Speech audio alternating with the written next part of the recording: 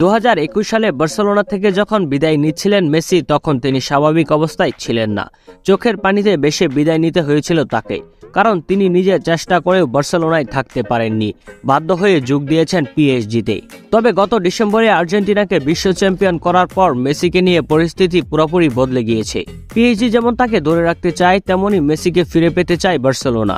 Messi ইচ্ছুক হলেই তাকে যে কোনো সময় আবার দলে টেনে নেওয়ার ইঙ্গিত দিলেন বার্সেলোনার কোচ জাবি হার্নান্দেস। বার্সেলোনায় খেলার সময় দীর্ঘদিন জাবি ছিলেন মেসির সতীর্থ। তাদের মধ্যে রয়েছে বন্ধুত্বপূর্ণ সম্পর্ক। মেসির ছেড়ে আসার পর বার্সেলোনার কোচ হয়েছেন জাবি হার্নান্দেস তিনি এবার মেসিকে দলে ফেরানোর ইঙ্গিত দিলেন।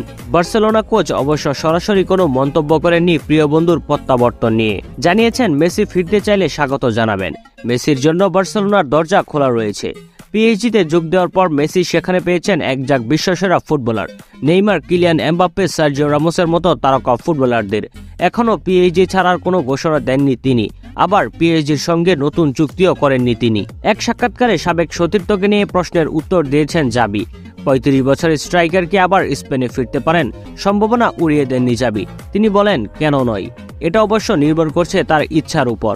মেসি কি চাই সেটাই আসল। এবারই প্রথম নয়। আগেও একবার মেসিকে ফেরানোর ইচ্ছা প্রকাশ করেছিলেন জাবি। প্রিয় বন্ধুর সেই ইচ্ছার কোনো উত্তর প্রকাশে দেননি মেসি।